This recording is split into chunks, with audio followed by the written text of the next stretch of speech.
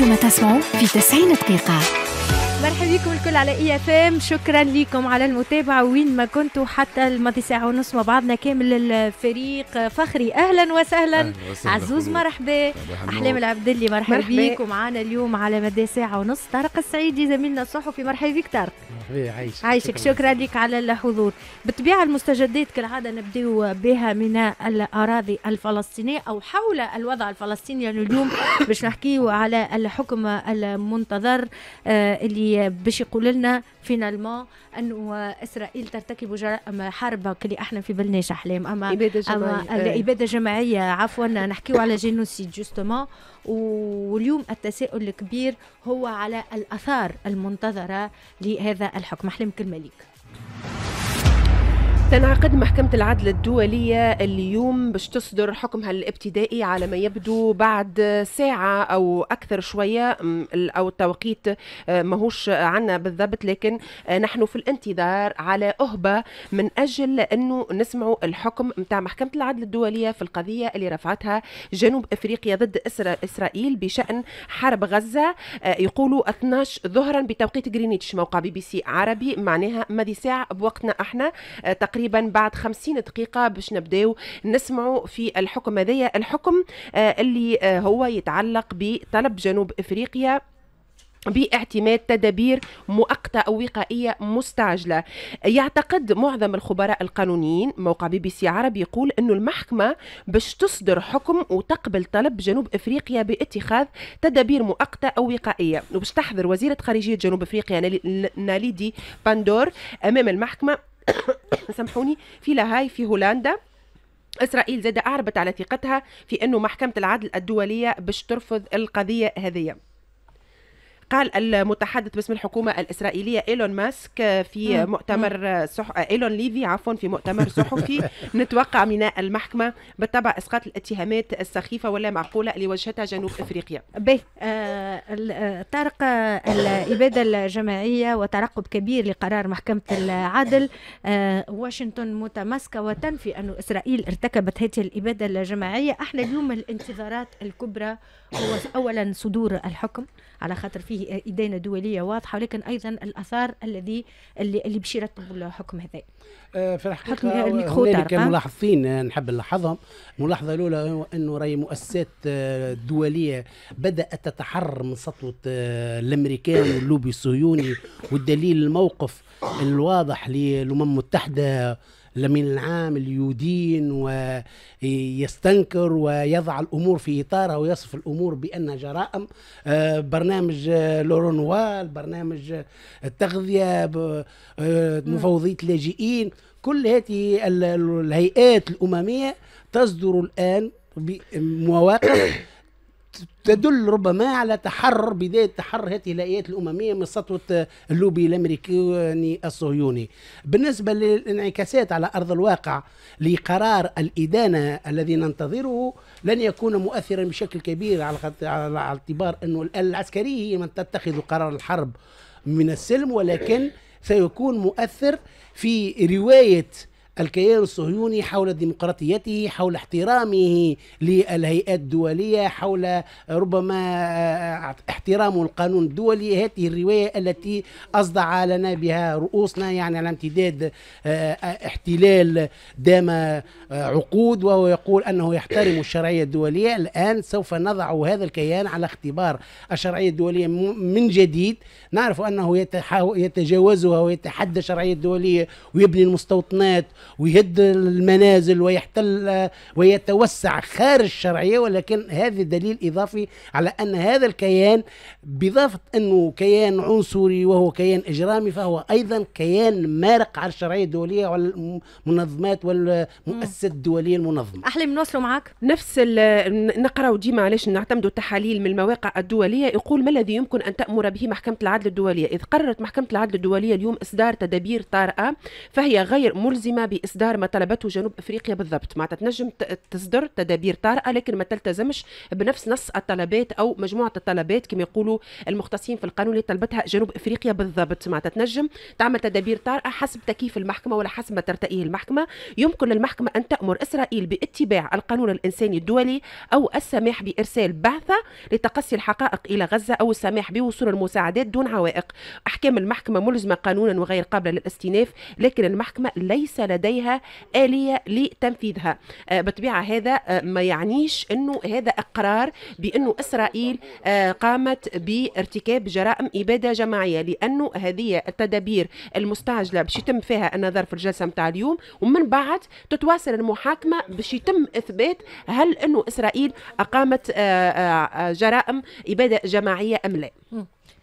عزوز؟ هي مرحلة أولى نجم تكون فيها إبادة كما كما تنجم تكون فيها إدانة كما تنجم ما تكونش فما إدانة لأنه البارح أمريكا اللي تنجم بتليفون من عند بايدن توقف الحرب هذه وترجع الأمور لنصابها ولكن هي مواصلة. البارح آه، بلينكن يكلم وزيرة الخارجية نتاع آه، آه، جنوب أفريقيا ويتحدث معها وياكد لها بأنه ما فماش جريمة حرب وما نعرف شنو اللي حكاو اخر والخارجية الأمريكية كذلك تصدر بيان اللي تاكد فيه بأنه ليس هناك جرائم حرب وانه إسرائيل قاعدة تقوم بالدفاع عن النفس. يعني ال ال الأمريكان إلى حد الآن واللوبي الصهيوني ما زالوا مواصلين في التعنت. أتمنى بانه التوصيات اليوم تكون انتصار للإنسانية انتصار للحق الفلسطيني وانتصار للناس اللي خرجت في الشوارع في كل دول العالم وخاصة في أمريكا وفي أنجلترا وفي ألمانيا وفي فرنسا وفي أوروبا ككل. اللي هما كانوا داعمين لهذه الجريمة واللي كانوا داعمين لما قامت به فلسطين من قتل للشعب الفلسطيني. قامت به إسرائيل من قتل للشعب الفلسطيني. هو في رأيي أنا الآن المؤسسة الدولية بدأت تقتنع أنه الذهاب إلى حل الدولتين. واعتقد اللي قاعدين نراو فيه الآن من سيناريوهات واللي قاعدين نراو فيه من تفاعلات هو متجه نحو عزل اليمين الصهيوني اللي هو العثرة الأخيرة أمام هكذا حل. على هذاك في رأيي أنا بهكذا قرار. فهمتني؟ سنضع ربما الظروف الموضوعية لقيام وبداية المفاوضات على حل الدولتين وأيضا الداخل الإسرائيلي أو مسمى بداخل الصهيوني أعتقد بدا يهيئ في نفسه للمرحلة القادمة بتسريحات المعارضة أيضا سبر الآراء اللي قاعد يتغير الآن في مصر في لمصلحة فهمت المعارضه بقيادة لبيد اللي أصبحت الآن هي التي تبلور الاستراتيجي القادم اللي تتحدث على احتواء حركة حماس اللي تتحدث على فتح مفاوضات جديده من استرجاع الأسرى. الحديث أيضا بكل قوة داخل الآن النخبة الصهيونية على الذهاب نحو حل جذري يخلق استقرار في المنطقة وأعتقد الذهاب نحو حل الدولتين أصبح الآن قناعة في عمق الضمير الدولي. وطني فخري عبد العزيز ومعنا ضيفنا طارق السعيدي اليوم الصحفي باش يشاركنا التحليل والنقاش. أه باش نرجعوا على القضية اللي حكى عليها سمير ديلو حكى عليها في اي في عديد من وسائل الإعلام الأخرى أه على أنه فما أه شخص آه اللي هو bon نتنياهو. آه جاي لتونس وعنده آه نية التآمر على تونس الموضوع حكينا فيه وحللناه من الأوجه الكل. ولكن الجديد هو أنه النيابة العمومية لدى المحكمة الابتدائية في تونس آه، في بلاغ في بلاغ لها نفت تماما فتح بحث تحقيقي جديد حول هذه المسألة. النيابة العمومية عبد العزيز اللي عنا قديش من شهر وإحنا نقولوا آه علاش ما تتكلمش علاش ما تقولش. اليوم تنفي موضوع آه بعد ما آه خذا آه خذا صدى كبير وتعتبر أنه إشاعات ووسائل آه، الاعلام تعرف الإشاعات لغير ذلك. هي النيابة العمومية التزمت بالصمت منذ مدة وخاصة مم. في في القضايا اللي ما يسمى بين الظفرين التآمر على أمن الدولة القضايا الحساسة. والسيدة وزيرة العدل كانت واضحة في البرلمان وقالت إحنا مانيش باش نتكلموا وهذا خيار. اللي فتح المجال بطبيعة الحال للمحامين لسان الدفاع وكذلك في البلاتوات والمحلين أنه كل حد معناه يأول بالطريقة لربما اللي يشوفها واللي يقرأ بها. يعني إحنا دائما في الإعلام عندنا وجهة نظر وحيدة ما عندناش وجهة النظر الأخرى. مم. اليوم كي خرج خرجت النيابة العمومية وتكلمت لي معناها أربع كلمات هي قالت لا أكثر ولا أقل. وتحل ديبا كبير. حسب رأيي أنا الآن يا إما فما خيارين يا أما اليوم نوليو آه، آه، ما عادش نحكيو على القضايا هذه ويتم التعاطي معها بكل حذر لأنه وقت تخرج النيابه العمومية تقول لك راهو ما تمش فتح تحقيق في العملية. ويجينا السي سمير ديلو اللي هو تكلم عن المسألة هذه يقول راهو هو بحث تمهيدي. يعني هي القضية لربما ما زالت في الطور الأول. ما زالت ما وصلتش واللي يطلب فيه هو بانه يقول لك ماذا بينا نفرزوا النيابة العمومية قاعدة تفرز وهذا من خلال الأبحاث الأولية وعليه لا يجب التداول في هذا الموضوع كأنه موجود وكأنه آه، أمر واقع وألا حصل. آه عدد القضايا اللي توا آه تكيف على أنها تآمر طارق آه النيابة العمومية تقول مش صحيح أنه بلغ عددها 14 آه، نلقاو فريق الدفاع على السياسيين اللي موقوفين في القضية الأولى نتاع التآمر آه، يعملوا في update على صفحه الفيسبوك. كل مرة يقولوا ماهوش 14 لهم 17 ويذكروا فيهم القضايا هذوما. donc اليوم النيابة العمومية من شيرة تقول أنه القضية اللي حكى عليها سمير جيلو مش موجودة ولكن أيضا راهو مش صحيح أنه القضايا نتاع التآمر وصلت 14 وقتاش حسب رأيك نجموا نقولوا أنه نعم هذا يعتبر موضوع تآمر والنيابة العمومية تنجم تتحدث نتحدث فيه وإلا لا هذا يبقى حديث ويبقى أيضا يمكن في, في عند بحث البداية يعني مازال الموضوع ما وصلش النيابة العمومية. لا النيابة العمومية هي المعنية بالملف هذا وفي اعتقادي أنه ما يجب جيد أن النيابة العمومية تتحدث. ما ما أطلبه أنا كإعلامي هو أن تتحدث بغزارة. لأن حجم المعلومات وحجم الاتهامات وحجم يعني ما ينتظر من عقاب للناس هذوما وتأثيرات هذه القضية على الخارطة السياسية في البلاد وعلى آه، حتى واقع الأفراد وحتى على حياتهم الشخصية مهم جدا وخطير. وبالتالي فإن النيابة العمومية في تقديري أنا مدعوة إلى مزيد التحدث ومزيد شرح ما يحدث الآن في أروقة المحاكم حول هذه القضية. النيابة العمومية هي التي تتعهد بالتحقيق وبالتالي فإنها هي من تقول أن هنالك تحقيق أو لا يوجد تحقيق.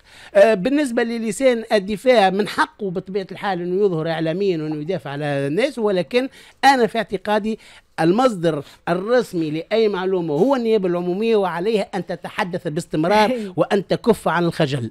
النيابة العمومية اللي تقول فخري أنه تفاديا لبث الإشاعات فإنه يتعين التحري والتقصي في المعلومة من مصادرها الرسمية قبل تداولها للعموم ولذلك كيف ما تحدث طارق خلود لابد أن تتحدث بغزارة وتكون لها أيضا سياسة اتصالية لأنه زاد الصمت يفتح فهمتني؟ على مجالات أخرى. يخلق perception يخلق انطباع. وفي لحظات معينة la perception plus profonde que la réalité ساعات. وهي ساعات تصنع حتى الحقيقة في التاريخ معناها. على هذاك لازم ثم سياسة اتصالية واضحة وتخاطب وهذه مش قضايا عادية خلود. مش تحدثوا على قضايا عادية. نتاع زوز على نفقة يتعاركوا ولا كذا. تحدثوا على ناس عندها تهم كبيرة. نتحدثوا على ناس معنية فيها رجال سياسة فيها رجال إعلام. في رأيي أنه فما نية أن توصل النيابة العمومية لا لا وتعطي المعلومة وقت ترجع تتذكر موقف وزيرة العدل مثلا وقت اللي كنت في في مجلس النواب وتقول أنه مش بالضرورة راهو نعطيو معطيات على الموضوع. راهو وسائل الإعلام تحب تتكلم في الموضوع باش تعاود وتحكي ما هو ما هو واقع اليوم. التداول في الموضوع واقع. مم. في وسائل الإعلام. ولا مش حتى يكتبون برشا يحكوا على وسائل هو التداول حقيقي في وسائل التواصل الاجتماعي. وفي هذا العالم الجديد العالم المفتوح ما تنجمش تشد فيه المعلومة. لذلك لازم تكون عندك سياسة اتصالية باش تبين وجهة النظر نتاعك. لأنه في حضور وجهة النظر نتاعك يصير تعديل للمشهد وتف وتغلق نهائيا فهمتني؟ الباب نحو تأويلات ربما تهزنا إلى مسارات أخرى. وأنا نعرف التاريخ التاريخ ياما إشاعات وياما وياما انطباعات هزت لمسارات أخرى. على ذلك السياسة الاتصالية أعتقد مهمة ومهمة جدا ومؤسسات الدولة الكل مدعوة الآن أنها تراجع سياستها الاتصالية. خلود باش نوضح حاجة.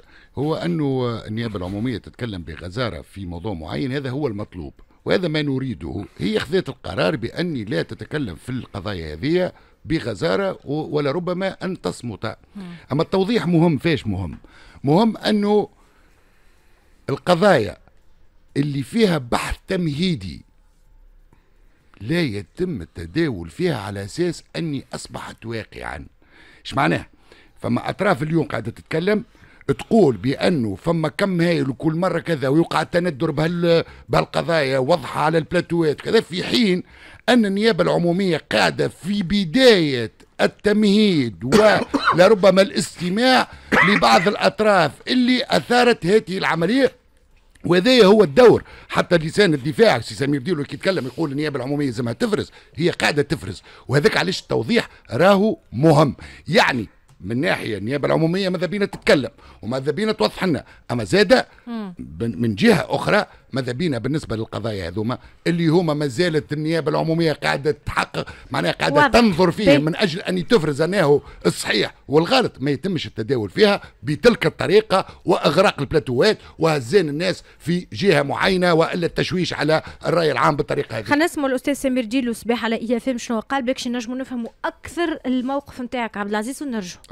اولا ما ذكرتش نتنياهو قالت فيه شخص أجنبي زوج قضايا فيهم شخص أجنبي هذا خلينا نفرقوا. ساعة اجرائيا وقانونيا النفي اللي صار البارح ديما الكلام اللي قال إنه ما ثم حتى حد في الحبس بدون تهم. هذا كلام صحيح ولكن حتى حد ما قالوا الناس تحكي على إنه ثم ناس بلاش أدلة بلاش إثباتات بلاش وقائع مجرمة. هو مش بدون تهم. التهم اللي كملوش والتهم في قضايا التآمر صفحتين غير بعض. فصول من المجلة الجزائية وتقريبا كل فصول قانون مكافحة الارهاب 2015 اللي فات النيابة العمومية وأنا مانيش في مجادلة مع حتى حد ولكن راهو كي نقولوا ما تمش فتح بحث تحقيقي هذا يرد الكلام ما تقالش لأنه البحث التحقيقي وقتاش يصير؟ يصير بعد ما يصير البحث والسماع عند الضابطه العدلية. النيابة العمومية كان رأت إنه ما ثماش مصداقية تحفظ وكيف إنه ثم مصداقية. وقتها تتخذ قرار في افتتاح بحث نحن ما زلنا ما وصلناش الغادي في القضية هذه الأخرى. شكل البحث الأولي في القضية الثانية نتاع كيسانجا اليوم الصباح اليوم ثم استماع للسيد مهدي بن غربيه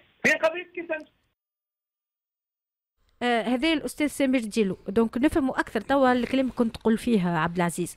آه الأستاذ ديلو يقول لك يا أخي هي النيابه العمومية تحكي على حاجة اللي هي مازالت ما وصلت لهاش. مازالت المرحلة ما خلطتش غاديك عندها ولو هي نيابة يمكن أن تتحدث على كامل المسار نتاع نتاع تحقيق من اللي يبدأ من اللي يمكن يبدأ تبدأ التصريحات الأولى. دونك دخلت بعضها شوية الأمور. شوف. إحنا كيفاش نعملوا نفرزوا؟ النيابة العمومية ما دخلتش الأمور بعضها النيابة العمومية واضحة. لا إحنا دخلنا بعضنا قالت لك أنا ما نتكلمش. التصريح اللي يحكي على الفكرة ونهو التصريح اللي يقول ويشي ونهو الخلطة للتحقيق بالحق وين باش ما عادش اللي يتدخل هو اعتقادي أنه النيابة العمومية عندما تتحدث عليها أن تفرز قائمة المتهمين والتهم موجهة لها تعطيهم ال 14 تفصلهم خلينا نفهموا تكور هذا على الأقل الحد الأدنى. خلينا نفهموا المرتكزات القانونية نتاعها كيفاش وقفت الناس و تهم الموجهة لهم وكل قضية فيش تختلف عن الآخر لأن تأمر على أمن الدولة معناها عنوان شامل ل 14 قضيه يعني في الحقيقة يتطلب مزيد توضيح لأن نتحدث عن موضوع خطير.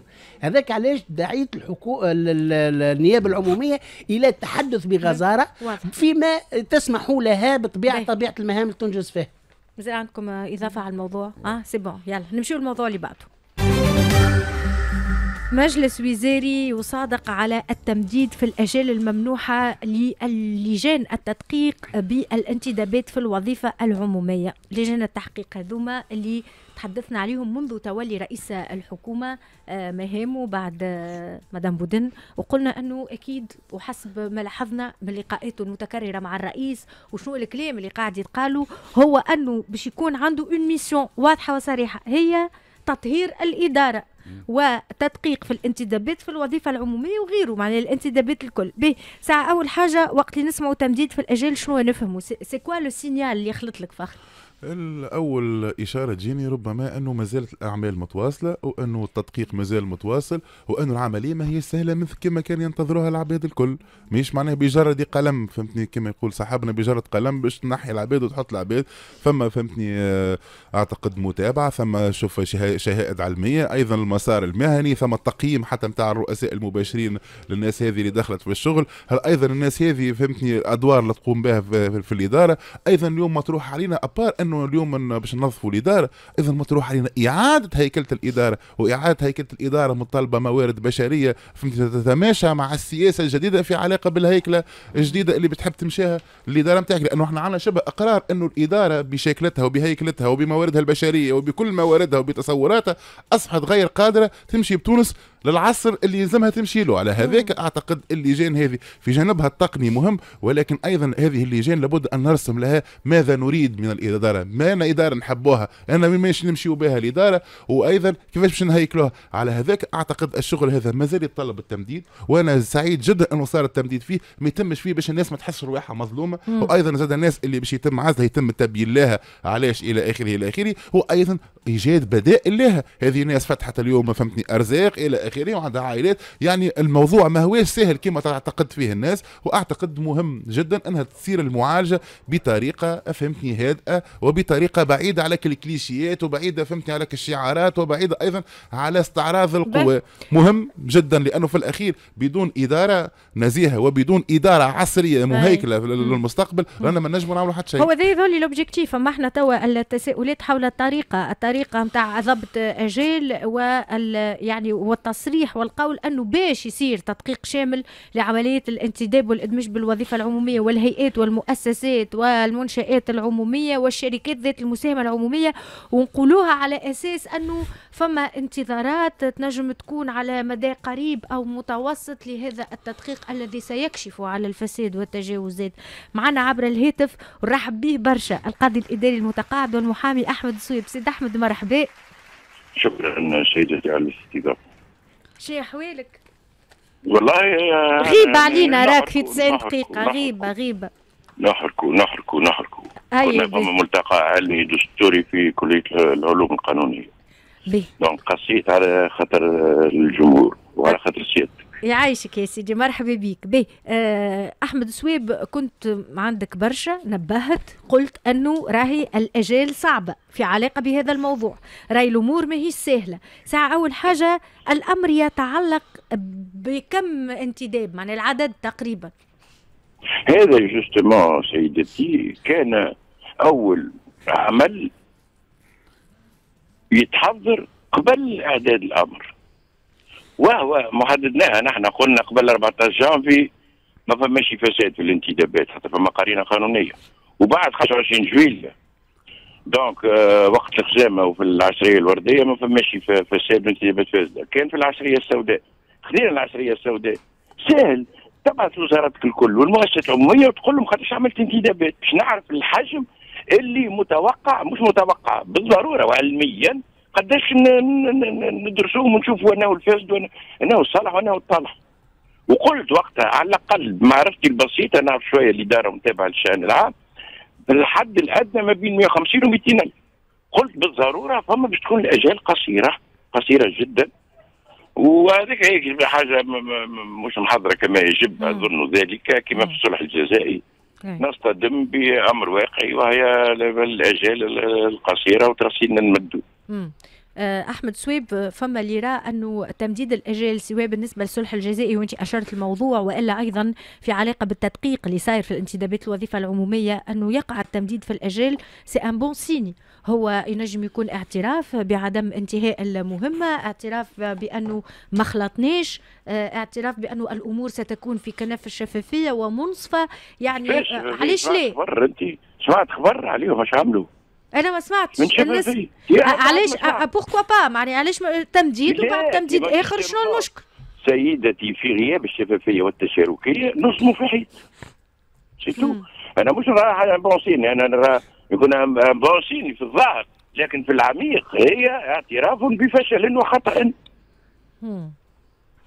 على خاطر من القواعد نتاع القاعدة القانونية هي la prévisibilité التوقع. ما ينجم معناها أمر متوقع جدا. متوقع جدا. للعارف بالشأن العام وبالإدارة التونسية وبالحجم الانتدابات هي كي تزيد العفو التشريعي العام على الحضار على العقود الهشة واللي يقع انتدابهم هذوما برك. بخلاف المدارس المتخصصة. اللي سنويا تنتدب كما القضاء كما الأمن آه كما الخارجية. آه كي تزيد هذوما الديوانة المالية. هذوما الكل معنا بالتكوين الأكاديمية العسكرية. هذوما الكل كي تحسبهم ظاهر على الأقل 150 ألف. ظاهرين على الأقل 150 ألف. دونك هو ربي يهدي شو نقول لك؟ شو نقول لك؟ به أنت أشرت لنا من الأول قلت لنا العشرية السوداء هي اللي باش يقع فيها المراجعة لأنه العشرية الوردية ما صارش فيها لا لا ما صارش لا الحمد لله بعد 25 جويليا كله كما يجب. وقبل الثورة كل شيء كما يجب. أه معناها من 25 جويلية حتى التوا ما فماش ما فماش تصير مراجعة لحد شيء. كان ما فماش اذا كان ما فيهاش تدقيق سيدتي.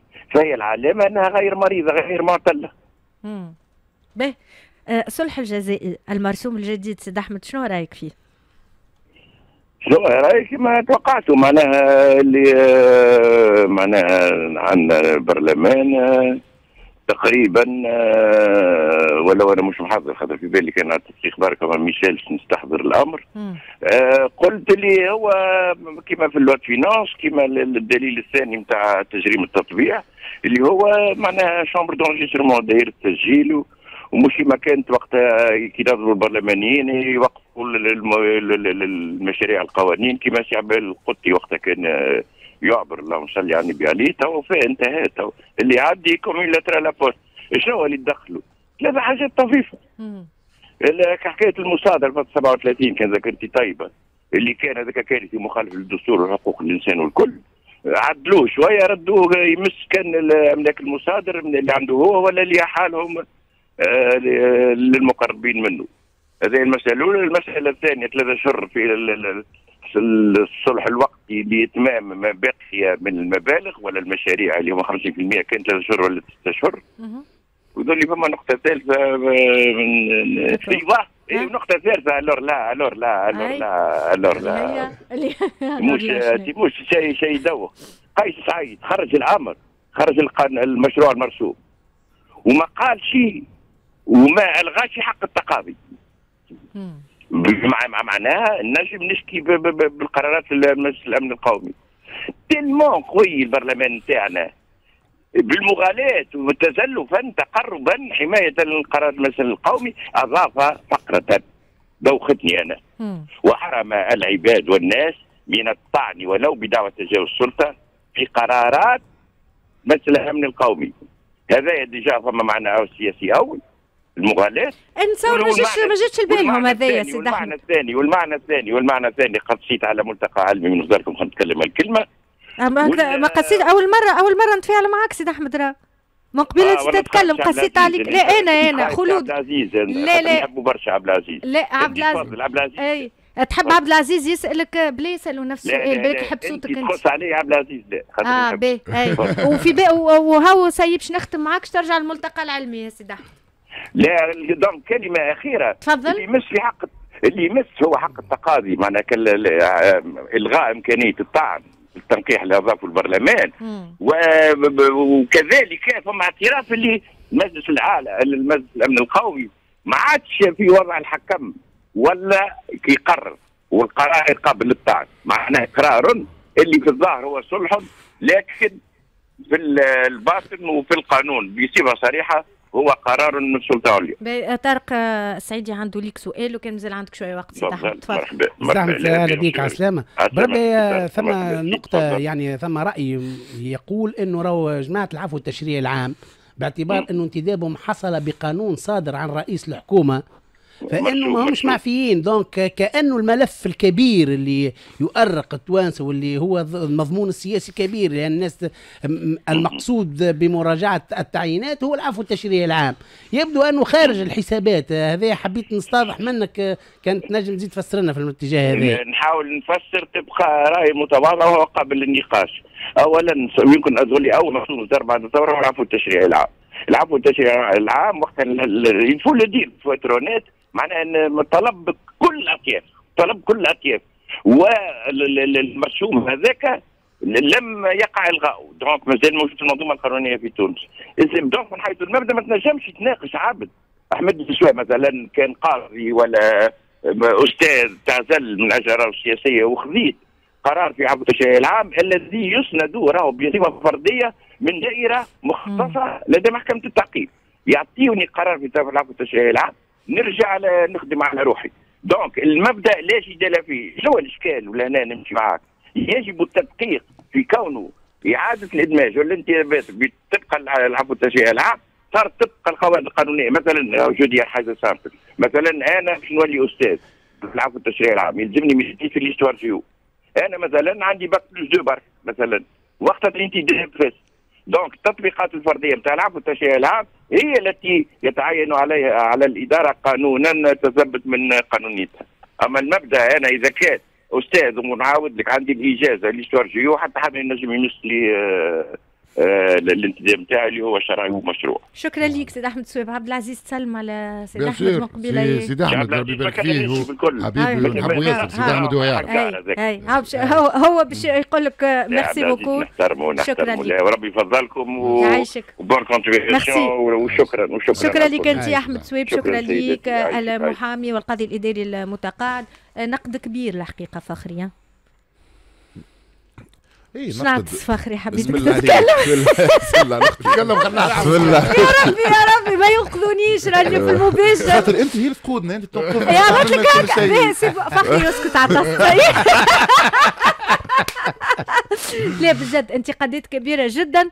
أه تحس أنه فما l'approche كلها أه فيها نقد من عند صحيح. أحمد سويب. معناها فما المقاربة الكل ماهيش خاطر شوف القانون هذايا تعدى كشعار خلود. والناس حبت تعمل فيه les fantasmes نتاعها اللي عنده مشكلة مع التفوع مع العفو التشريعي العام كان ينتظر فيه القانون هذا باش يحقق له نوازعه ورغباته اللي عنده أمل كي تفرغ الإدارة باش ينقز فيها هو بمنطق الموالاه إلى آخره للمنظومه جديدة زاد كان يراه فيه من واجهة. أيضا اللي كان يراه فيه أيضا من واجهة نتاع هيكلة جديدة للإدارة. أعتقد التقت فيه كل النوازع. ولكن في الأخير عندما تم تنزيله في أرض الواقع في الأخير سيعالج بالعقل. جاء مجلس وزراء عمل لجان اللجان بدات تبحث بدات تشوف بدات منظمه الأمور. ثم مراسيم كيف ما قال كان يتحدث الأستاذ أحمد الصويب ثم مراسيم ما زالت تابعة المنظومة القانونية في تونس ما تنجمش تجاوزها يعني في الأخير نحب نقول للناس اللي تمشي برشا وتدوخ برشا بالشعارات إلى اخره الواقع حاجة أخرى والمعالجة على أرض الواقع انت حاجة انت أخرى. أنت ماكش قاعد تنفي أنه المنطلق هو مشروع سياسي ولكن فما les obstacles نتاع ال terrain العراقيل اللي تجي في التطبيقات مش عراقيل تطبيقات هذه الدولة هذه الدولة لازم تمشي هكاك عقلها. الناس تنسى أنه الدولة لها عقلانيتها اللي أسستها على امتداد 70 سنة. ونواميس. mécanismes. هي بيروقراطية تبنت على امتداد 70 سنة ولديها جذور وإرث من الاستعمار ومن البيات وانت جاي كل هذه التراكمات. أدت إلى هذه التراكم اللي اسمه جهاز الدولة التونسي اللي عنده عقلانيته لابد من فهمها من أجل معالجة الإشكاليات داخلها. الشعار السياسي وحده غير كافي لفهم ومعالجة إشكاليات هذا الجهاز البيروقراطي العظيم المتعاظم اللي اسمه الدولة. donc donc الدولة ومؤسساتها عزوز آه عظيمة ومتعاظمه ومازالت واقفه والدولة ما تعملش سياسة. الدولة تحمي نفسها والدولة تدافع على نفسها. والدولة آه عندما تمر بفترات من العبث من الفوضى تتحرك توقف العبث هذاك وتذهب إلى إصلاح ما تم العبث به. من تمظهرات العبث هي الانتدابات هذا ما يلزمناش ننكروه اللي هو ملف فساد كبير.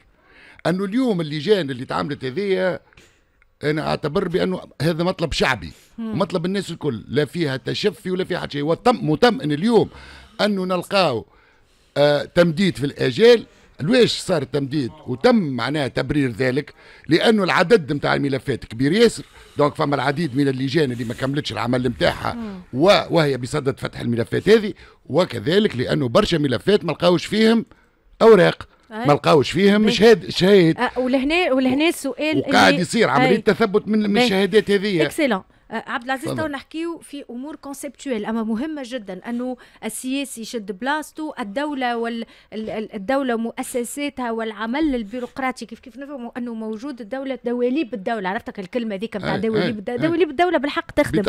أما علاش إحنا وقت اللي وصلنا إلى مرحلة أن تمديد الاجال علاش ما وقعش الكشف على خلاصة العمل في الاجال السابقة؟ على ما خرج حد وقال يا جماعة راهو هاو التدقيق لقينا دوسيات فارغة. رانا لقينا قالوا قالوا لا, لا الرئيس قال أكثر من مرة. اشار اشار, أشار, أشار أكثر من مرة أشار إلى الخروقات الموجودة لا هو الرئيس ديما يشير. إيه؟ اما إحنا هنا حتى على عملية التبديد تم تبريرها.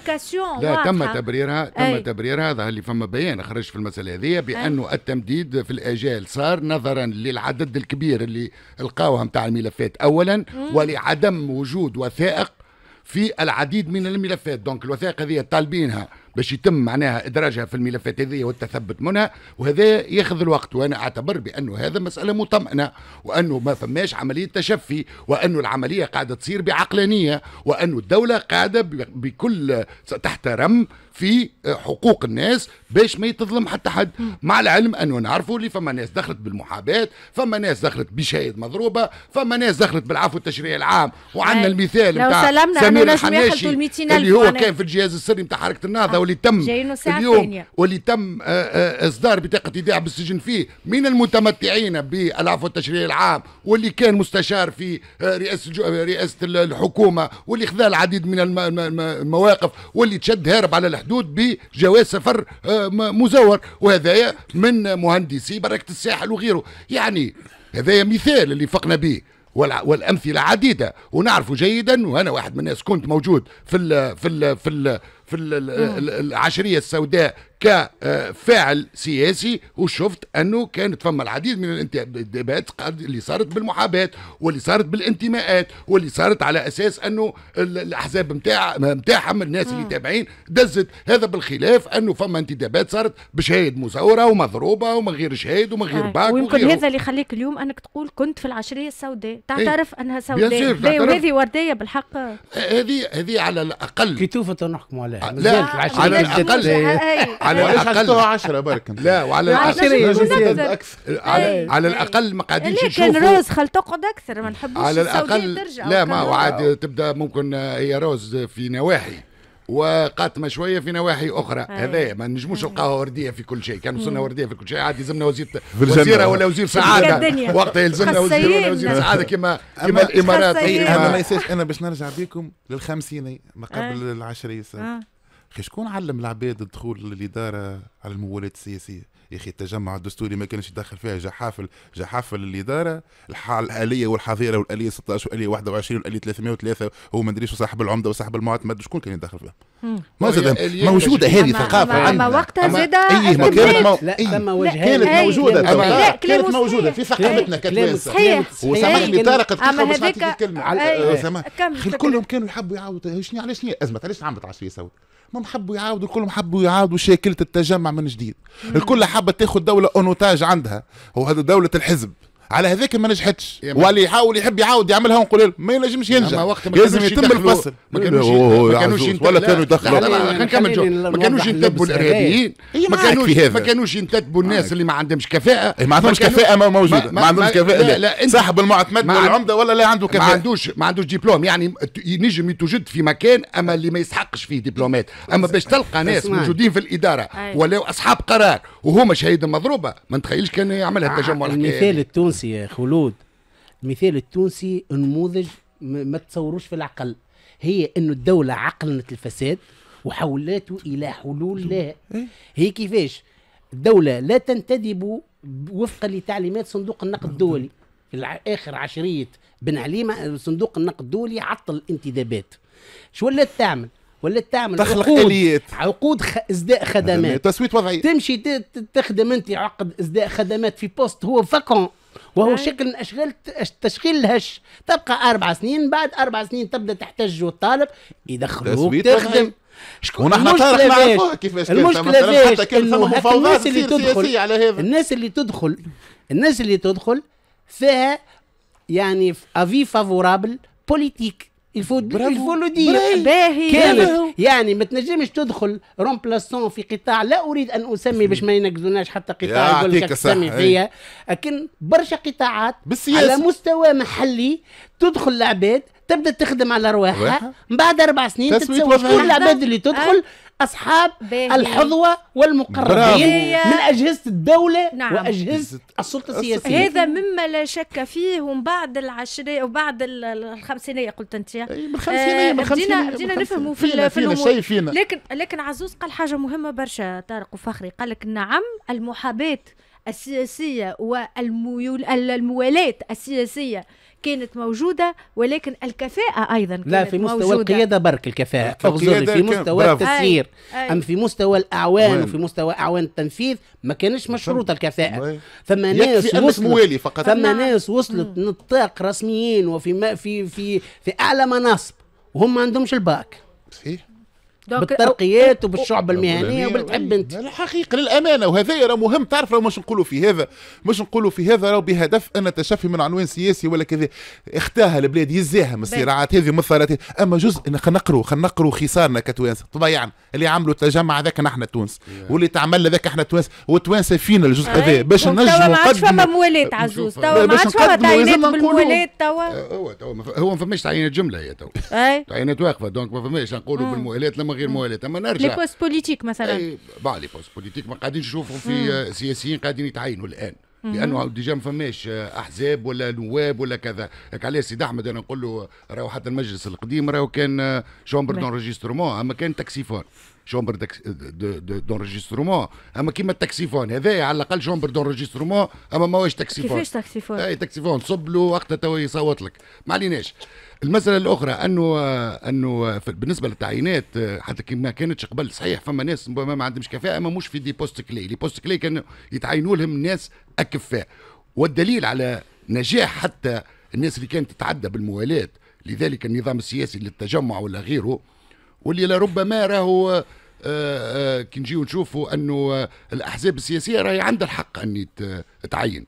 ماهوش عيب راهو. في الديمقراطيات يعني في كل الديمقراطيات الآن اللي ينجح في الانتخابات يجيب جزء كبير من الإدارة نتاعو ومن الناس اللي تخدمه وخاصة في les postes clés. ما يختار الكفاءات. على الأقل التجمع كان يختار كفاءات في les postes clés والدليل على ذلك أنه الإدارة كانت قوية وبقيت قوية وحتى كي صارت التحول صارت تغيير نظام الثورة شفنا كيفاش الإدارة البلاد شدتها الإدارة. وشفنا كيفاش بالإختراقات وبالتعيينات نتاع الكفاءات وبالعفو التشريعي العام وب les postes clés اللي من غير عباد من غير باك ومن غير شهاده علمية. كيفاش الإدارة وين وصلت اليوم إلى الحضيض؟ هذاك الفرق وين؟ أما أنك راهو تسمي كحزب راهو هذايا متعارف عليه ومعمول به في كل دول العالم. موضوع كبير برشا راهو هذايا كان باش نقعدوا نتكلموا ونحلوا في كل ما ما في, في niveau الكل لا لا أما كفاءتنا خلود عام 2008 صارت كريزة كبيرة في العالم اسمها les subprimes 2008 تعرف قالت إدارتنا؟ قالت من المعجزات ان إحنا ما مسناش الأزمة. تعرف علاش ما مسناش الأزمة؟ خاطر ال taux d'intégration تاعنا في, في ال économie internationale مش كبير برشا. وصلوا يفسروا لنا فيها الدجل الشعوذة في البلاد. اللي هزت خلقت 2011 الشعوذة هذيك. واللي قال عليها سيد الرئيس قال ربنا اللي قال غلطوني وسيحاسبون. شكون يغلطوا شكون اللي باش يحاسب؟ الا كفاءة لانكومبيتونس الجهاز هذاك على هذاك نتواضعوا. بكل بكثير من المحبة باش نصلحوا أخطائنا في المستقبل. واختياراته زاد غلطته برشا. واختياراته دمرت حياته كيف يشترك فيها معك يشترك معنا في الموضوع هذا يلا فاصل وراجعين منتصر سيسي. منتصر هو اللي قاعد يجيب لنا في الأخبار الحقيقة برشا دوسيات حصرية, آه حصرية آه والغريب والعجيب الكل معاك يا منتصر. أهلا وسهلا. خلود تحية ليك وتحية لكل مشاهدينا ومستمعين مرحبا. في نابل والحمامات هذايا وين أنت بالأساس مراسلنا ولكن طبعا آه، مع 90 دقيقة أنت مراسلنا في كم تراب وعنده تروتين وعنده تروتينات عجيبة يبدا يدور بها في حمامات عندك حتى يمشي بها كنت بين الولايات من يلا منصر شنو الحكاية اللي آه، موجودة وخرجت مؤخرا وأنت كنت من الناس اللي كشفوا عليها آه، في علاقة بشبكات الدعاره صفحات على الفيسبوك اللي فيهم الشبكات هذي. بالفعل هو بالتحديد معناتها الوصف بدقة هو الاتجار بالجنس وهذا معروف من أول الدنيا لأنه معناتها بعد النجاحات الأمنية الإخرانية اللي قامت بها وحدات اقليم الامن الوطني بنابل خاصة بعد كل المداهمات اللي صارت المدة اللي فاتت عند سبع شهور على أقصى تقدير على مراكز اللي يسموهم المساج. بالطبيعة ثم العديد من الشبكات تم تفكيكها تم شكون معناتها حتى جزائيا تم المحاسبة نتاعو donc ما عادش فما حتى حلول. التجوا إلى الفضاء السيبرني وإلى الفيسبوك وإلى كل معناتها ما يتعلق بالإنترنت. هذيك علاش انتشرت المدة الأخرى؟ معناتها صفحة تم تأسيسها مؤخرا 15 جوان 2023 معناتها تتزامن مع الحملات الأمنية على كيف نحكي لك على centres de massage هذوما. آه ولات طلبات معناتها لاجانب اغراءات جنسية طلب معناتها حتى وجود الثمن لكل فتاة ترغب في آه أشياء معناتها خارجة على النطاق وخارجة على القانون وخارجة حتى على الدين نتاعنا donc الموضوع لهنا أولاد الوحدات الامنيه كنت في اتصال مع بعض المصادر يتبعوا في الموضوع هذا. مده لأنه التعقيدات تعرف الإدارية وخاصة في الإجراءات تتبع المواقع ال ID وال IP نتاع الصفحات هذه. طول ال procédure نتاعها على خاطر ثم بعض الصفحات كانت متابعه منذ مدة ولا ولات تبين المديرين اللي يديروا في الصفحات هذه خارج التراب التونسي. ثم شكون مازالت هنا؟ لو انه معناتها الأمور كلها أكيد معناتها المصادر اللي اتصلنا بها سواء مصادر أمنية أو غيرها آه ما زالوا يتبعوا في شكون صاحب الصفحة هذه وكيفاش جاء وخاصة في عملية الاستقطاب للبلاد للأجانب. هذا آه هذا هذا هو الموضوع مم. اللي معناتها الفت انتباه الوحدات الأمنية وأنه فما العديد من المواقع تم غلقها بما انه تم معناتها القبض على الظالمين والمشرفين على الصفحات به آه دونك الصفحات هذه آه، تدار من خارج الفضاء التونسي وصار استدراج ووقع بالفعل معناها المتابعة نتاع الموضوع وبداوا معناها بداوا في الاستدراج الفعلي ولا قاعدة الأمور على مستوى لانونس خاطريناهم إحنا الصفحات اللي على الفيسبوك سي دي زانونس راهو كاريمون معناها كانت كنت تبيع في تليفون ولا في كهرباء ولا في جده هكا عليا فهم تي في حبينا نور سي شوكون سي شوكون بالفعل كلامك صحيح خلود باش نبني عليه آه، اللي ما زالت بصدد المتابعة الأمنية تعرف امنيا معناتها تعرف يخدموا كما ثم مصالح أخرى. نزلت تكنولوجيا الاتصال ثم فرق مختصه تتابع في الموضوع هذا ولكن الاغرب في الموضوع وانه حتى يمكن باش ندخل شوية في خصوصيات الصفحة هذه توجد معناتها العباد اللي مونسيوني جام واللي تتبع في الصفحة معناتها اسماء معناتها عباد معناتها محترمة في المجتمع نتاعنا وعباد عندهم مكانة مرموقة في المجتمع. توجدهم برمي لي زابوني اللي هم فاعلين في المجتمع وينجموا هم بحكم الموقع اللي عندهم يثيروا انتباه مثلا الوحده الامنيه ولا أي إنسان مشرف. على الصفحة هذه ويثير اهتمام الراي العام. دونك هذا هذوما سي ليميت عسوس. عرفتك الحكايات اللي تحكي ومن بعد في الآخر تلقاهم فريمون موجودين على أرض الواقع. النفوذ و ناقصة شوية مخدرات تولي سيري معناها الحكاية. ونتخيل موجودين وفما يستخدم على المسألة. هذه الجريمه الإلكترونية العابرة للقارات والعابرة للدول والعابرة للحدود. هذوما ناس من برا ولأنه اليوم أصبح العالم مفتوح. هنا تجي دور الدولة تجي دور ال ال من يتصدى لمثل هذه الصفحات مراقبتها غلقها وتتبع الناس اللي مسؤول عليها ولو هم في الخارج إذا كانوا في تونس يتم تتبعهم. أما لكن الغلق والوقوف لهم هذا يلزم يكون فما إدارة آه، آه، فيها ناس تشتغل على هذا الموضوع كما في العالم الكل. باهي. آه، فخري باهته بيت في عجب ربي. أنا ذاك الواقع نعطيو كلمة الأخبار خير. إي يعطينا الأخبار. يلا نرجعوا معاكم بعد الأخبار. طارق فخري وعزوز مواصلين معاكم حتى الماضي ساعة ونص. بعد شوية. مكملين في 90 دقيقة. مع الجهاز السري الذي يعود من خلال اسم.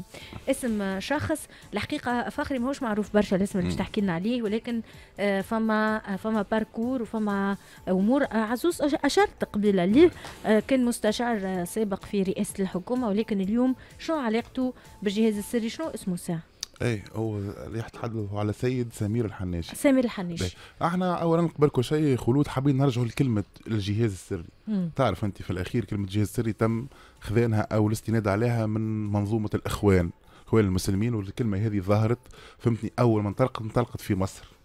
وقت اللي صار صراع ما بين السندي عبد الرحمن السندي اللي كان على رأس التنظيم الخاص وتصارع هو الهوذيبي على مش شكون ياخذ الجهاز هذا وديما الحركات الإسلامية كان لها هيكل علني يعمل السياسة ويتحدث في السياسة ويتحدث في السياسة على الاسلام إلى آخره ولكن له تنظيم خاص مناط له مهام المهام نقولوا إحنا العنيفة المهام اللي ما, ما ما تصلحش تكون في العلن كان يدير هذا التنظيم أعتقد تدير أشخاص أخرى لها علاقة بالقيادة السياسية ولكن في الأغلب التنظيم السري ما العلني لا على لا ما يعرف التنظيم السري حفاظا يقول لك على الأسرار اللي يحملها هذا التنظيم. في تونس طرح هذا التنظيم حكى برشا على الجهاز السري وسمعناها برشا في العشرية الأخيرة من خاصة من هيئة الدفاع على الشهيدين اللي هي أول من خرجت للرأي العام كلمة الجهاز السري. وبدأ الحديث أيضا على عمليات تم فهمتني صارت في بلادنا وكان يتم اتهام الحركة الإسلامية بها وجهازها السري. وأعتقد اليوم باش نجموا نبنيو في المستقبل حياة سياسية بعيدة كل البعد على الشبهات وبعيدة كل البعد أيضا على عناوين من النوع هذا. أنا في رأيي من مصلحة الحركة الإسلامية حتى قبل كل الحركات يتم الكشف. معناها أنت بديت بالتحليل قبل ما تحكي لنا عن القضية. لأن القضية في الأخير هي قضية سياسيه هي؟ هي في الأخير اليوم ثم أشخاص يتم عندهم تهم أنهم هم ينشطون في هكذا تنظيم. أه. كان يخدم يخدم في خدمات لحركة النهضة. مم. كان يلعب في حديث كان يعمل يتحرك في الكواليس. من أجل أنه يفتح الحال أفق الحياة للحركه أنها تشتغل في الفضاء العام. يريد أيضا أن يلقي يلقي قبضته على الفضاء العام ويهي ويهيكله لاتجاه حركة النهضة. أعتقد في رأيي أنا هالاسماء هذه مهم جدا يتم الكشف عليها وأيضا مهم جدا أيضا أن البلاد بلادنا تتجاوز. تتجاوز بكشف الحقيقة لأنها واحدة اللي تنجم تخلينا في المستقبل تكون عندنا حركة إسلامية تعمل في الحياة السياسية بعيدا كل البعد عن المعادلات هذه وأيضا الحياة السياسية يتم التنقية نتاعها باش نجموا نمروا من هالمربعات هذه إلى قعدة سنوات وسنوات فيها في كليشيات أعتقد ما نفعش البلاد. عزوز وقت اللي نحكيو لهنا على الجهاز السري ونحكيو على العمل في العلن وعلى مدنية أو التظاهر البعض يقول بمدنية الأحزاب اللي عندها خلفية إسلامية والأحزاب الإخوانية. نحكيو على تفكيك ظاهرة. ظاهرة عاشتها بلادنا مدة كبيرة. وموضوع الجهاز السري هذايا أه وقت اللي هيئه الدفاع بدأت تتكلم عليه. أه بدأ الكشف على العديد من المواضيع. مثلا يقول لك راهو المسؤول الفلاني في الإدارة الكبيرة الفلانية ولا ما نعرفش أنا ولا في المطار ولا في الحكومة ولا غيره هو عنده علاقة بالجهاز السري. يعني هي تشابكات. نعم. توا اليوم وقت اللي نسمعوا أنه قضايا من هذه قاعدة تثار نجموا نفهموا الخبيلة شوية معناه. هو اللي الحيلة اللي انطلقت علينا أنه صدقنا أنه الحركات الإسلامية تنجم تكون مدنية. وخاصة التجربة متاعنا إحنا في تونس بعد عشر سنوات ولا 12 سنة تأكدنا مرة أخرى أن الحركات الإسلامية هي بالأساس حريك هي بالأساس أجهزة سرية. وما تنجم تكون كان أجهزة سرية. وتبين الآن بالدليل القاطع بأنه حركة النهضة والحركة الإسلامية اللي في العالم وهذا معروف عند الناس الكل بأنه تشتغل والماكينة العميقة والماكينة الكبيرة والأسماء اللي بهم الفائدة والمهمات الصحيحة اللي في علاقة بالمال اللي في علاقة بالتشبيك اللي في علاقة باللوبيات اللي في علاقة بالعلاقات الخارجية اللي في علاقة بالكامبين اللي في علاقة بكل شيء موجودة في الأجهزة السرية اللي إحنا ما نعرفهاش.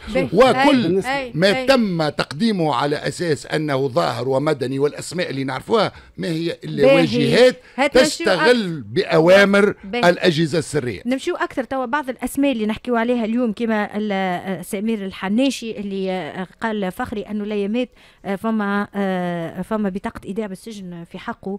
السيد هذا وقت اللي ترجع تشوف الهستوريك طارق تلقاه أنه من مجموعة بركه الساحل وهو من أحد الأسماء اللي موجودين في الملف نتاع سليمان اللي خطط لعملية سليمان وبعد تلقاه شد مستشار رئيس حكومة وبعد في الآخر هرب آه، هرب خلصة بجواز سفر آه، مدلس. هذه توا الأخبار التي تروج. آه طبعا ما عندناش آه تأكيدات لأنه الملف ماهوش قدامنا. ولكن فما برشا سمعنا عليهم حتى وزراء سابقين وقيادات كبيرة راهو كانت في حركة النهضة مثلا. هو في الحقيقة أنا يعني مع مهم اللي يقدمه آه، فخري ولكنه ناقص برشا. أنا في اعتقادي إنه المفصل هو ضرورة الآن إبراز حقيقة اغتيال شهيدين. غادي نلقى كل شيء. عدم اغتيال عدم توضيح مسألة اغتيال شهيدين شكري بالعيد ومحمد البراهمي هو ما أدى إلى هذه الضبابية إلى حد الآن. كشفنا عديد الملفات كشفت يعني لجنة الدفاع عديد الملفات طرحت عديد الأسامي أعطت دي بيست. كانت هنالك سلطة سياسية تقيد العمل القضائي وفق رواية اليوم المفترض انه هذه السلطة السياسية التي كانت تقيد العمل القضائي والناس كانت تقول قضاء البحيري وكذا انتهت. اليوم ان تقديري الطرح الصحيح للجهاز السري يمر عبر ضرورة طرح مسألة كشف حقيقة اغتيال الشهيدين وراهو ما دام ما كشفناش من اغتال الشهيدين شكري بالعيد ومحمد البراهمي فإننا لن نتوصل إلى حقيقة الجهاز السري. بالنسبة لممارسة العنف في فكر التنظيمات الإخوانية في اعتقادي هذه تهمة لا يمكن أن ينكروها على أنفسهم مهما طالت يقولوا انه صارت مراجعات. هذه المراجعات يمكن ستطال حتى الاسم اليوم يحبوا يراجعوها. هل حقيقة يمكن أن نأتمن إلى الإرادة الذاتية للإخوان؟ هذا زاد سؤال عميق. هل لابد من آه، ديجارتفو قوانين حارسة لابد من آه، مجتمع مدني يقظ لأن حتى ولو سلمنا بضرورة أن وجود تنظيم سياسي إسلامي في تونس وهو يعبر عن جزء من موجة الشعب التونسي فإنه بالضرورة أن يكون تحت الرقابة المدنية حتى لا تحدث هذه الانحرافات اللي هي جزء من تكوينهم الفكري. هذا ببساطة. فاعتقادي حقيقة الجهاز السري مرتبط ارتباط وثيق بالشهيدين شكر بعيد محمد البراهيم حقيقة الجهاز السري مرتبطة بملف الشهيدين والمطلب كشف الحقيقة. آه كان مطلب عليه برشا آه غبار سياسي تراكمات سياسية معناها حتى هيئة الدفاع. مم. تحسها كانت تخدم آه تخدم باش تقول راهو فما حاجات راهو هاو القضاء وين وهاو المشاكل وين وهاو الملفات اللي تخبيت وهاو الشهود اللي هربوا. بعد 25 جويليا جاتك التنفيسه نتاع القضاء سيتحرر ولن يصبح قضاء البحيري اليوم normalement القضاء أصبح قضاء الشعب. نعم. هكا ولا لا؟ قضاء نفسه. قضاء نفسه. لا القضاء الذي يحكم باسم الشعب ولمصلحة نعم. الشعب. هذا هكا أي. ولا لا أي. طارق؟ باهي هو سيادي وين على نفسه. وين وين كشف الحقيقة على كل حال التعاطي التعاطي مع الملف آه. فما تطورات وين تطورات تطورات آه موجودة والملف قاعد الآن محل متابعة وهو على طاولة السادة القضاة وقاعدة فما استماعات قاعدة تصير فما جلسة ظهر لي نهار 26 جلسة لا لا 26 ظهر لي غدوة. ظهر لي غدوة. اليوم ظهر لي اليوم فما جلسة. فما جلسة ست وثم جلسة ستة أما هنا آه، آه، آه، خلود. لازم نوضحوا حاجة. راهو تورط الجهاز السري في الاغتيالات أو شبهة تورط اللي ما زالت ما ثبتتش إلى حد الآن باش نكونوا معناها الواحد يعرف شو يقول ونكونوا معناها مريقلين. وإلا التورط في ملفات أخرى فيها راهو البعد الداخلي وفما بعد الخارجي. اللي راهو ما ننساوش أنه الجهاز السري والأجهزة السرية نتاع الحركات الإسلامية راهي عندها ارتباطات على مستوى دولي. والاغتيالات السياسية اللي هي متهمة فيها ما قامتش بها بمفردها. كما الملف نتاع اغتيال الزواري واللي راهو الكشف عليه ولو حتى تكون فما إرادة سياسية ما راهو فما تقاطعات وفما تجاذبات وفما العديد من العراقيل اللي لربما تعوق أنه نقدموا في الملفات هذه اللي تاخذ شوية وقت. أما لكن إدانة الجهاز السري نتاع حركة النهضة في تونس داخليا عنده العديد من القضايا اللي هي منشورة اليوم. يا أخي أنستيلينجو والسطوة على الإعلام والصفحات المشبوهة شكون كان يعمل فيها؟ ما تعملش فيها حركة النهضه يعمل فيها الجهاز السري نتاع حركة النهضه الأموال المشبوهة شكون كان يدخل فيها؟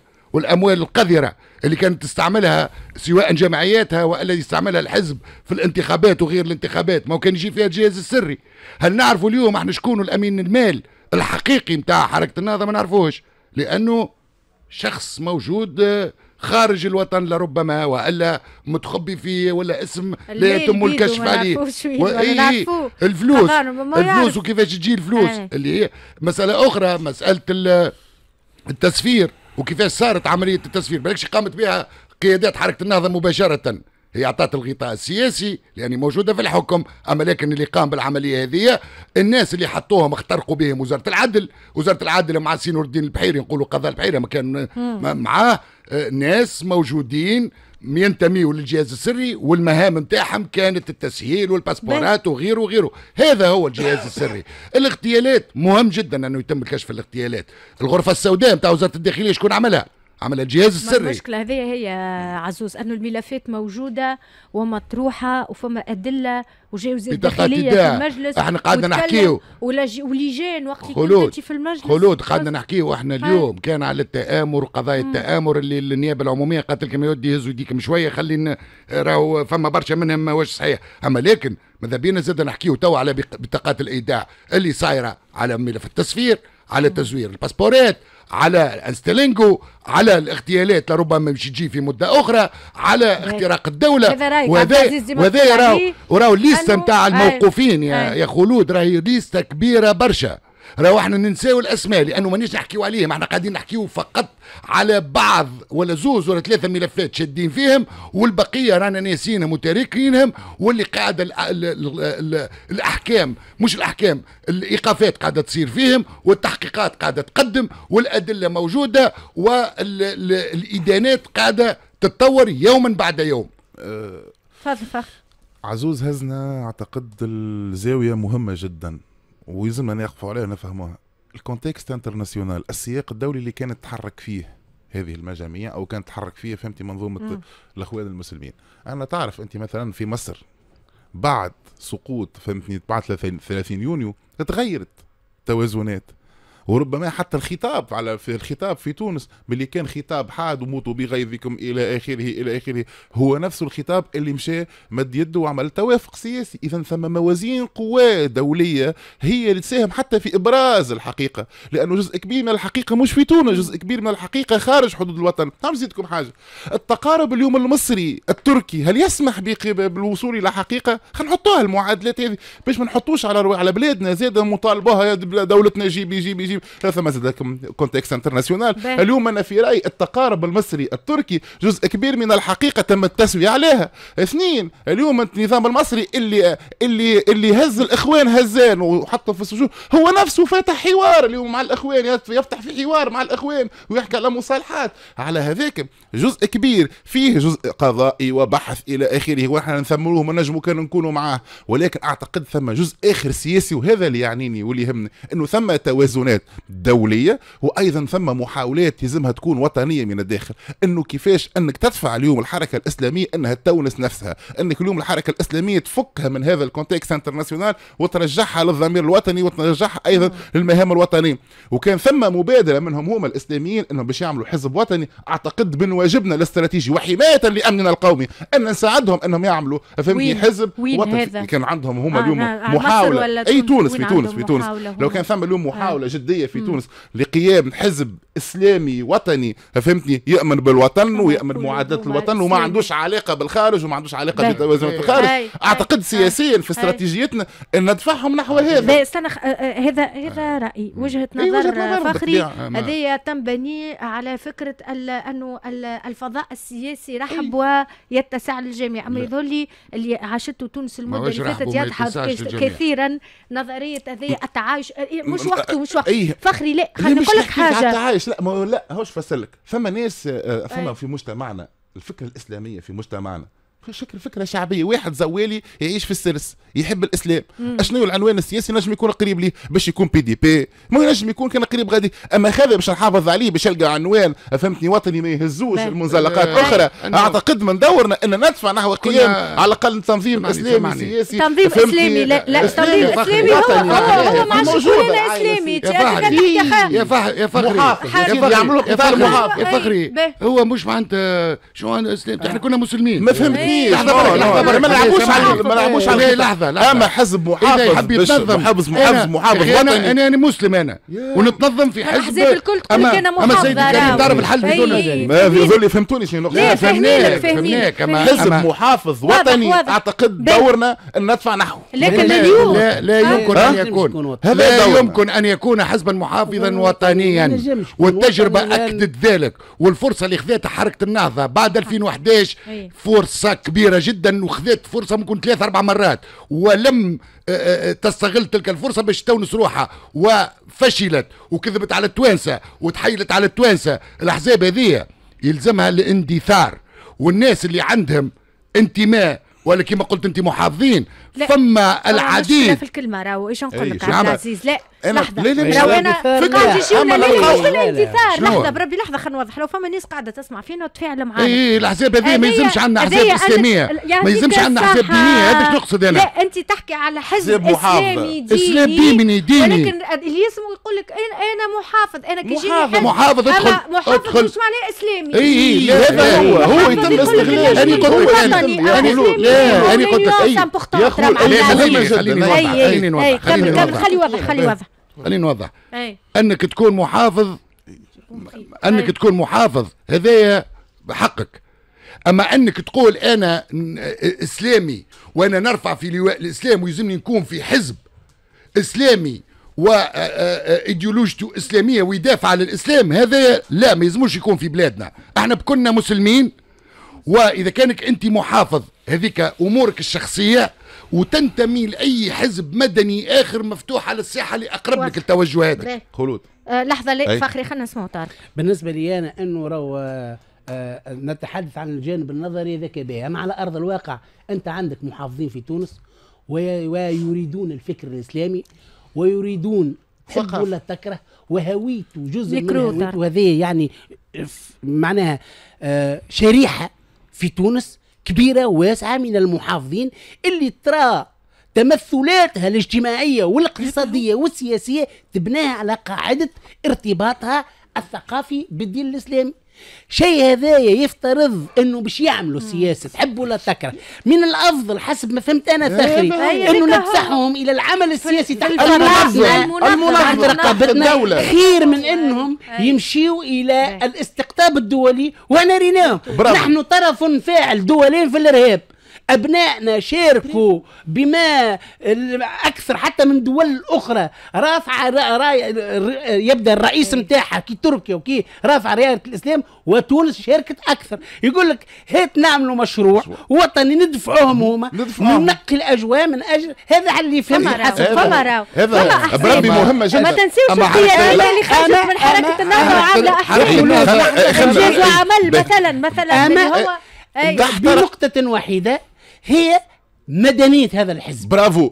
ما يلزمش لا شعارات يرفع له لواء الإسلام وله نحن نحن الكفار ومن المسلمين يا طارق يا فخري راكم تحكيوا في حاجات évidentes حاجات عملها أما على أرض قانونية. على أرض الواقع التنظم في الأحزاب لا يمكن أن يكون برفع يعني شعار غير شعارات يعني الدولة. يعني الأحزاب اللي عندها الإيديولوجيا الإسلامية وترفع في شعار الإسلام يجب أن تندثر. تقعد كان هذا واش قلت أنا؟ يقعد كان الأحزاب المدنية العادية يدخلها اللي هو محافظ ويدخلها اللي اشتر محافظ ويدخلها هذا المفروض. يلا نختموا. فخري سكر بسرعة مان أنا مع الفكرة هذه علاش؟